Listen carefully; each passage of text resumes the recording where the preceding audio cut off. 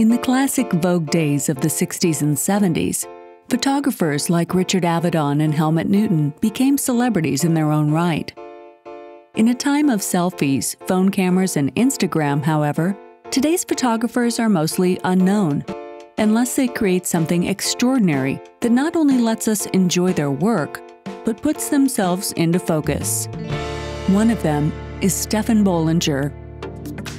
With over 1.6 million followers on social media, the Swiss native has become one of the most followed photographers in Australia, and his images have been viewed over 87 million times on Google Plus alone.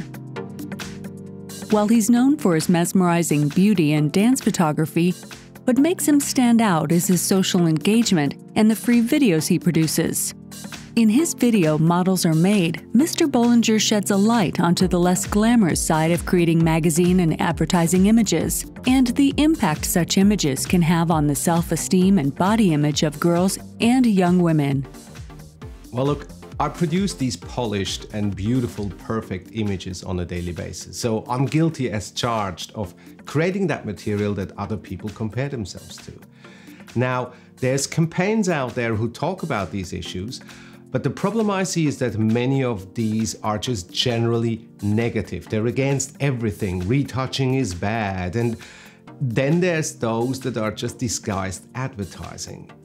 Now, I think we don't have to be against retouching and production and all of that. I think we just need to educate people what goes into such images.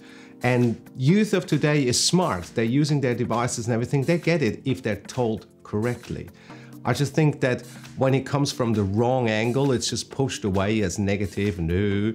So coming from someone who does this for a living, who is not against it, but for it and loves it, I think it's just a little bit more honest and, you know, authentic, if you want to use the big word.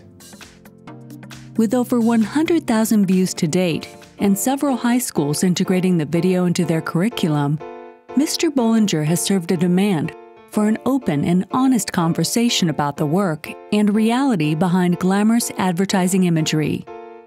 He does so with a positive attitude, and to quote Mr. Bollinger, we're all beautiful. Look into the mirror and smile.